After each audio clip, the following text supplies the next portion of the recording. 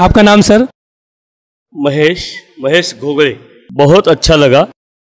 जैसे कि हमारे दिल में या हमारे मन में और समाज में जो भेदभाव की जो भावना चलती है, आज की डेट में जो जो भी समाज में होती है, मुस्लिम, हिंदू, सिख और साई, क्रिश्चियन, जो भी चलता है, लेकिन ये सब ऐसा मैसेज गया यहाँ पे आके, हम लोग को ऐसा मालूम पड़ा कि ये सब तो हमारे, जैसे हमारे हिंदू या अगर सब धर्म में जो चलते हैं, वैसे ही है, कुछ भेदभाव नहीं है।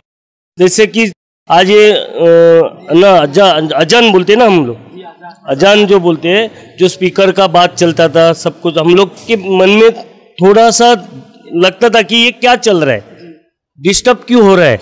लेकिन ये डिस्टर्ब नहीं, ये हमारे लिए, सबके लिए, अच्छे के लिए, प्रार्थना के लिए निमंत्रण होता है। ये सबके लिए अच्छी भावना होती है।